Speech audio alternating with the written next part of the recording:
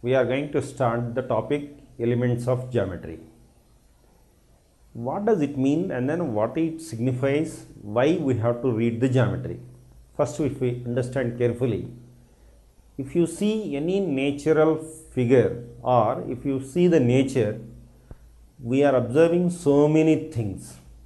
Suppose if a building construction is there, first we will have to select the site but the site may be either it may be four sided figure or it may have so many dimensions it may be there. Suppose it may be looking like a pentagon or sometimes the site may be looking like a hexagon or any other figure. But the builder what he will do is according to his own convenience he will restructure the total things. Suppose if we take this figure it is a four sided figure it is a five sided figure it is a six sided figure. Sometimes what will happen the figures may look in a different way. That implies two sides are parallel but some dimensions are some some sides are not equal. Therefore these type of figures how we are going to derive? How we are going to get this? How to choose okay what are the things what exactly we need from this? How these things are going to give us some concrete results Suppose if I want to construct a house, generally nowadays astrologers or so many people says that a site is the best site where it is having the four equal sides or sometimes if it is going to be rectangle. Suppose if it is a pentagon site, then how to do that? Naturally, they may suggest that you leave this portion and go for this. But what happened to this portion? Then what we have to do this? If you see any construction in the whole world, it is having somehow or other some geometrical application it is there. Suppose if you take any church if you see the church is going to look like this. Naturally what will happen this is going to be we are calling it as a tomb this we are calling it as a base and like this. But from where these concepts have derived? Mathematically it is having so great significance. Therefore to identify the areas or to measure the angles or to find out anything from this if we want to derive certain things naturally these figures are going to be useful. For example, if you take the Taj Mahal, if you see there a beautiful land and then beautiful construction, but how each side is having equal sides are there. In this, some monuments and the great monuments are all, all almost all are geometrical figures. But this geometry is a word which is derived from Greek that is called geo, geo as well as measure. Therefore, geo basically speaks about the geo speaks about it is called ge geometry. Geometry means generally G E O M E T R. There are two words are there. Geo is one word, metry is metry is going to be the measurement. Geo is going to be considered as a total global Therefore, we, if we want to measure the whole thing, geometry is going to be useful. For example, if I want to measure the area of this particular figure, let us call it as this is we are calling it as a pentagon. What we will do is we will take this one portion as one side, one figure, this portion is going to be other figure. Then we will find out the area of this triangle portion, we will find out the area of this squared part, then we will add these two. Suppose the same manner if I want to find out for the hexagon, naturally what will happen? This I can divide it into the four parts. This totally two parts which I can divide. This is one portion, this is other portion, this is other portion.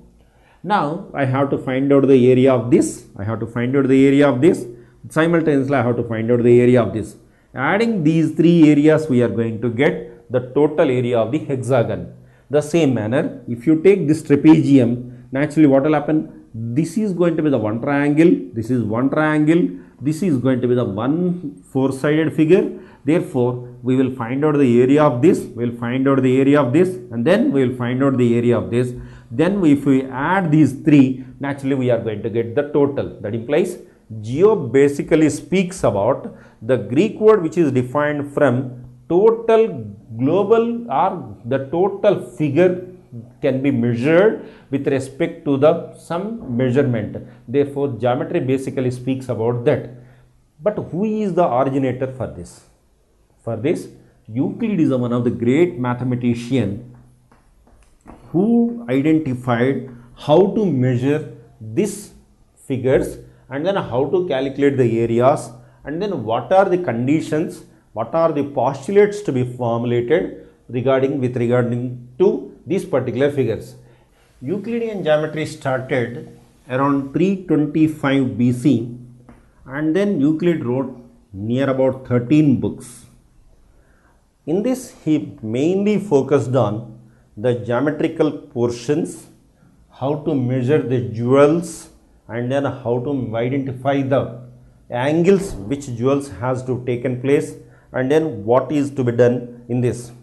The elements of Euclid geometry is completely discussing about various different types of figures, various different types of angles, how to measure this one. He wrote near about 13 books and completely he formulated certain postulates and then he started his career or he started writing his own books around 325 BC to near about 216 BC.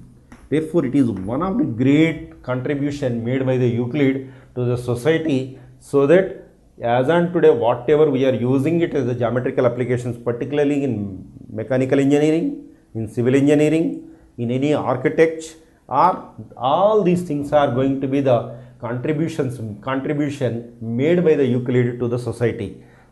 Now we are going to start with what is the point, what is the surface and then how many types of figures are there and then how to do this. Now we will think about all these areas. The geometry starts with point. A point is a position in this particular geometry, we are going to start with a point. Suppose if I take any point here, point is in, it is movable, it can be located any place in the space, but it is not having any dimension or it is not having any magnitude.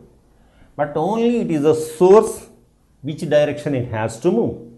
Suppose if it is moving towards one particular side of it this is called one dimension.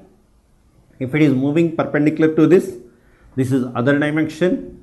Let us take this particular point. If I take this particular dimension let us call it as x.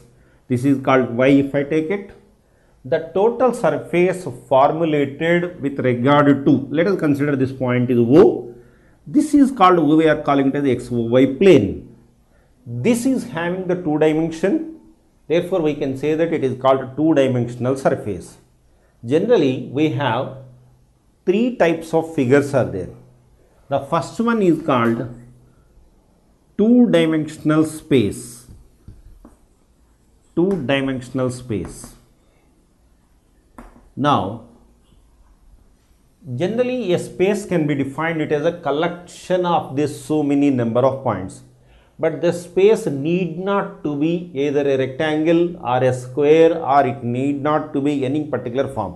It may be looking like a circle, it may be looking like a pentagon or it may be looking like any other figure. There is no specified restriction. But the problem is a space is a consist a space is one which consists of so many different points.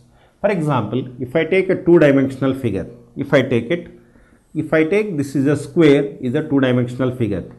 If I take the if I take any coordinate system if I draw any figure like this this is also called a two dimensional figure which we are calling it as a hexagon. Suppose the same manner we can draw it as an octagon or we can draw it as an anagon like that we can draw so many figures on this